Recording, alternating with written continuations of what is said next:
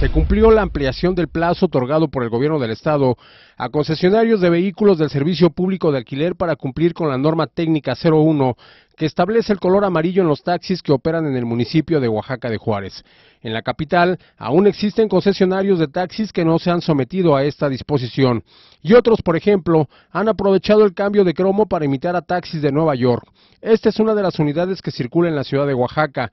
En sus costados y en la parte posterior ostenta la leyenda Central Park. El gobierno del estado, a través de la Secretaría de Vialidad y Transporte, informó a principios del año 2014 que a partir del próximo 3 de marzo entraría en vigor la norma técnica NT01 que establece la cromática y elementos con los que deberán circular las unidades que brindan el servicio de transporte público en la modalidad de taxi con concesión para el municipio de Oaxaca de Juárez. Con esta ley se sustituyen las normas y lineamientos para el servicio público de alquiler establecidas desde el 2001, así como el acuerdo por el cual los sitios públicos de alquiler para la ciudad de Oaxaca ostentarían colores específicos y que venían aplicándose desde 1995.